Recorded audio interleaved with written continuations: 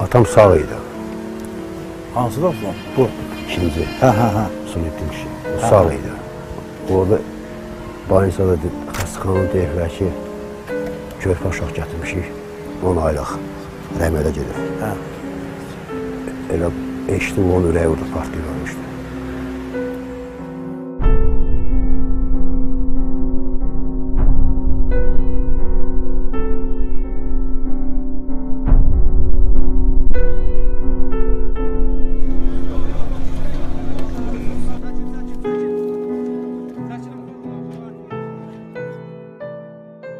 Oktyabrın 17-si axşamı keçən gecə birə qalmış erməni terrorçular tərəfindən raket atıldı. Elə balkondan baxanda gördüm ki, üstü Spaşkola deyilən bir yer var, onun arxasından çıxdı. Evdən çıxdım, getdim atam gələ.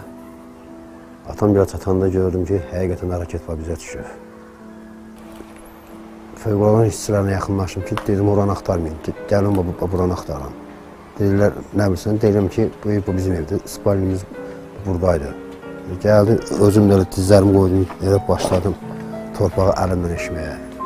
Torpağı qazanda əllərimdən gördüm, bir dənə döşək çıxdı. Elə döşəyə qaldırdım bir zulumdan.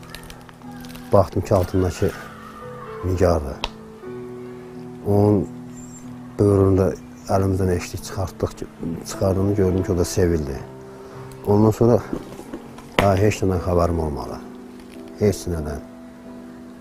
Elə sabah üstündə getdik morqa, aydınlaşdırdıq ki, hə, beş nəfərimiz şəhid olubdu.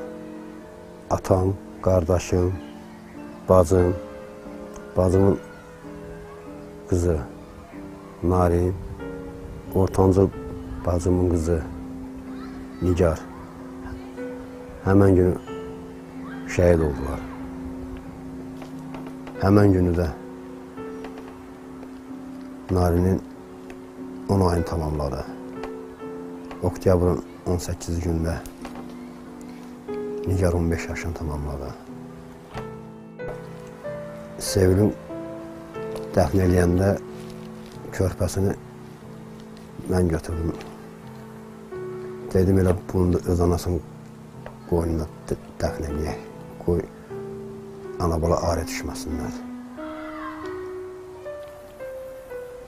Məhlədə evin arxasında hansısa bir 70-80-ə yaxın göyərçin var idi. Bir dənəsə salamat çıxmadı göyərçinin. Allah nazım odur ki, bir də belə bu müharibəni heç kimə göstərməsin.